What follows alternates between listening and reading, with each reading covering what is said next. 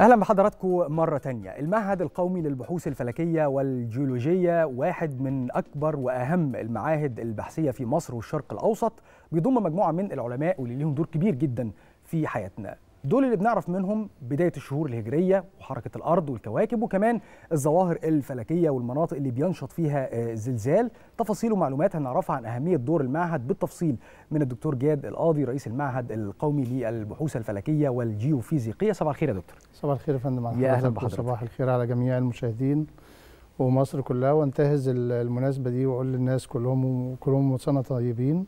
بمناسبة انتصارات أكتوبر وبوجه التهنئة والتحية لكل الشهداء اللي يعني خلونا نبقى قاعدين النهارده كده وإحنا مبسوطين بنحتفل بالاحتفالية دي. وحضرتك طيب يا فندم؟ ربنا في البداية عايزين نعرف ليه في نشاط زائد في التغيرات المغناطيسيه للارض وايه هي أصلا التغيرات المغناطيسيه تمام. آه، أكمل بس التهنئة برضو وأوضح كده للناس إن المعهد من أحد الأدوار القومية والإشارات الفنية اللي بيقدمها للدولة كان لها دور مهم جدا ساعد متخذ القرار في تحديد ساعة الصفر في حرب أكتوبر.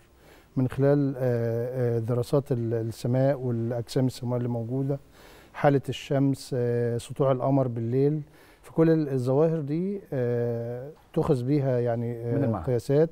وقدمت لمتخذ القرار ساعه ساعه اتخاذ قرار الحرب الصائب الحمد لله. نرجع للنشاط الشمسي وعلاقته زي ما سيادتك والمشاهدين يعرفوا هي الأرض واحدة آه من المجموعه الشمسيه. آه والمجموعة الشمسية حوالي يعني مجموعة من 200 مليار مجموعة زيها في درب التبانه اللي إحنا بنعيش فيه. نتيجة إن ال- الأرض ودورانها حوالين نفسها وحوالين الشمس داخل المجموعة الشمسية فبتتأثر بالمجال المغناطيسي بتاع الشمس وبالتالي الظواهر اللي موجودة على سطح الشمس إحنا بالمناسبة عندنا تلسكوب آه، في مرصد حلوان 30 بوصة ده مخصص لدراسة الظواهر الشمسية. البقع الشمسية الانفجارات الشمسية العواصف الشمسية الرياح الشمسية كل الظواهر دي اللي على سطح الشمس وتأثيرها بيوصل آه، للأرض بما انها واحدة من المجموعة الشمسية اللي بتولد مجال آه، كهرومغناطيسي بيؤدي آه، لتأثير كبير على المجال المغناطيسي للأرض على شبكات الاتصالات سواء المحمول أو الأقمار الصناعية كذلك طبعا على ظروف المناخية يعني يمكن هيئه الارصاد الجوية معنية أكتر بيها. لكن كل الظواهر دي متعلقة أساسا بالنشاط آه، الشمسي والموجود عليه آه، النشاط الشمسي آه، لما بدأ العالم يدرسه ومصر برضو كان من أوائل الدول اللي ساهمت في الدراسات ديت عندنا في حاجة اسمها المجموعة الدورة الشمسية. الدورة الشمسية دي مدتها 11 سنة متوسطها إحنا حاليا بدأنا من آخر السنة اللي فاتت في الدورة ال 25 دايما في بداية الدورة الشمسية بيكون آه، فيه هدوء شمسي مفيش انفجارات كتيرة على سطح الشمس وبالتالي المجال المغناطيسي برضو بيكون فيه حالة ثبات. آه، كان يمكن في بعض الشائعات السنة اللي فاتت نتيجة آه، الهدوء الشمسي. إحنا داخلين على حقبة جليدية وبرودة طبعا الكلام ده مش صحيح. مم. القصة دي متكررة. لكن المجال المغناطيسي بتاع الأرض و- والحمد لله إحنا عندنا في في مصر مرصدين مغناطيسيين. ده بيرصدوا المجال المغناطيسي على مدار ال 24 ساعة واحد في الفيوم وده شغال من سنة 1960 آه، افتتحه الرئيس الراحل جمال عبد الناصر. والتاني في منطقة أبو سمبل جنوب أسوان آه، وده شغال من 2008 ال- هل التأثيرات أو التغييرات دي آه، بقى لها فترة؟ يعني بقى لها أسبوع أسبوعين بقى لها إحنا كان عندنا الأسبوع الأخير في شهر تسعة كان في نشاط ملحوظ.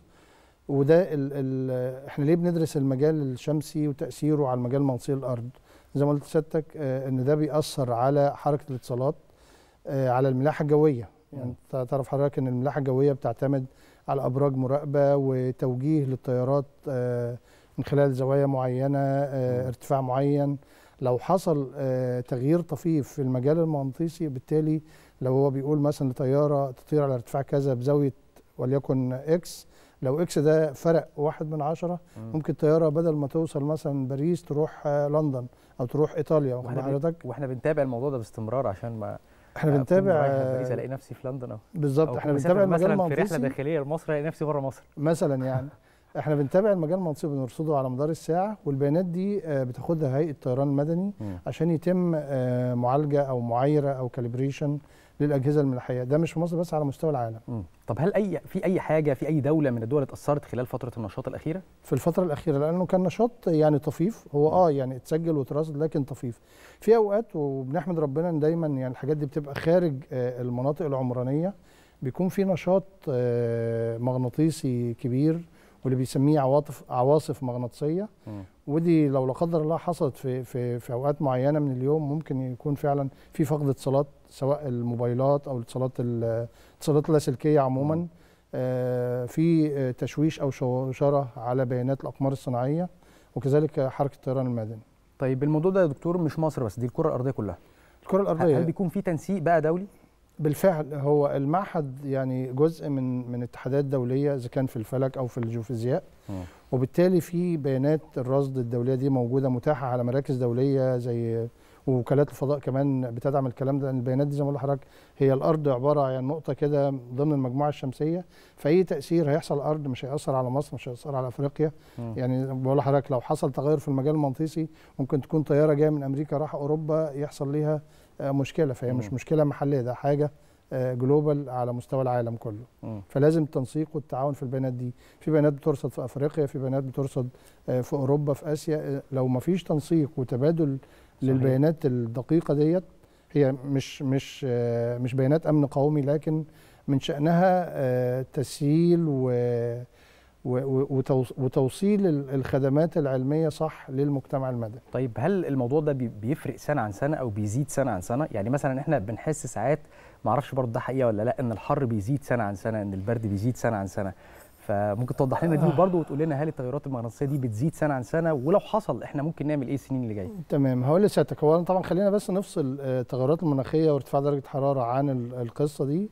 التغيرات المناخية هي في جزء فيها آه، صحيح نتيجة يمكن آه، زيادة الانبعاثات والكلام اللي إحنا بنسمعه ثقب. الأوزون وارتفاع درجة حرارة ال- الكون آه، والأمم المتحدة والعالم كله بيحاول إنه ينزل درجة الحراره دي واحد ونص درجة ودي اللي بتخلي في شعور بالحرارة وفي أوقات معينة من السنة.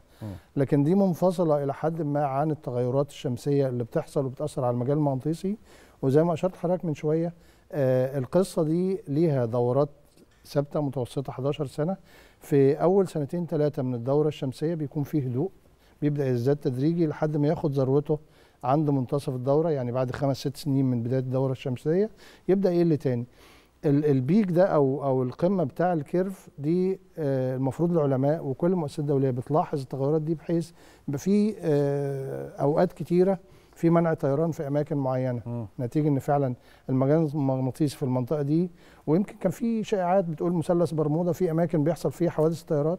كل دي ليها ظواهر علمية مبنية على حقائق المراصد الدولية بترصدها وبتسجلها. طيب دكتور إحنا كان عندنا الفترة اللي فاتت في آه، زلازل كتير قوي خلال الفترة اللي فاتت. إيه أكتر المناطق الأكثر عرضة للزلازل وسببها؟ خليني أقول لحضرتك هو يمكن الناس بدأت تعرف إن في زلازل كتيرة. أنا عمري ما حسيت بزلزال يا دكتور. الحمد لله. الحمد لله. آه، أنا حسيت بزلازل كبيرة بس كان أنا أفتكر طبعا زلزال التسعينات. 92 ده فعلا.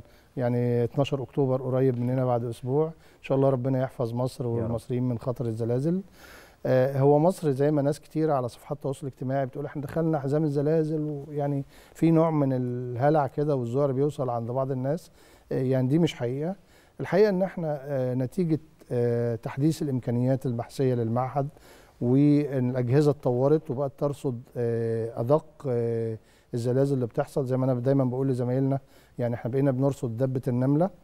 وبالتالي بقينا زلازل ما كناش بنحس بيها في فترات قديمة من عشرات السنين بدانا نسجلها النهارده. أضف إلى ذلك بقى المعهد في تواصل مستمر مع وسائل الإعلام لكن ما وبقى أقدرش في أتوقع حدوث زلزال لا مفيش توقع مفيش توقعات لحدوث قولا واحدا مفيش مم. توقع أو تنبؤ. مم. تنبؤ بالزلازل لا. لكن في حاجة تانية وهقول لحضرتك عليها لاحقا الحد من المخاطر. آه، أرجع تاني ليه الناس بدأت تشعر بالزلازل؟ آه، اولا يمكن نتيجة برضو وضع ال- الأرض في المجموعة الشمسية ودورانها. الأرض يعني جيولوجيا لما درسنا كده من حوالي آه، 4500 مليون سنة كانت كتلة واحدة. نتيجة دوران الأرض حوالين نفسها وحوالين حوالين مركزها وحوالين الشمس بدأت تبقى في نظرية يسموها الحركات التكتونية أو الصفائح التكتونية. تنفصل القارات على صفائح كبيرة يعني قارة أفريقيا على على على صفيحة تكتونية. بدأت نتيجة حركات تنفصل القارات تاخد الشكل الحالي. فما زال في أماكن فيها نشاط. على سبيل المثال عندنا البحر الأحمر آه، بيتسع سنويا بمعدل 1 سنتيمتر. تمام الواحد سنتيمتر يعني الجزيرة العربية بتبعد عن مصر حوالي آه، سنتي وبالتالي بينتج زلازل إحنا نتيجة التحديث. وطبعا الدعم اللي المعهد بياخده من وزارة التعليم العالي والبحث العلمي. بدات أجهزة تتحدث بقينا نحس بالحاجات دي. ونوصل للناس هو مفيش فيه خطورة أكتر من إن إحنا بنوصي إن جميع مؤسسات الدولة عند آه، الشروع في إنشاء مشروعات صحيح. استراتيجية. كبيرة مم. يتخذ بقى الضوابط والمعايير. الأمان الزلزالي آه، الشدة الزلزالية في المنطقة ديت. بحيث يعني يبقى في محافظة على المباني ما يحصلش فيها تأثير إن بالزلازل شاء الله بشكر حضرتك دكتور جيد القاضي. رئيس المعهد القومي للبحوث الفلكية والجيوفيزيقية. شكرا جزيلا لحضرتك.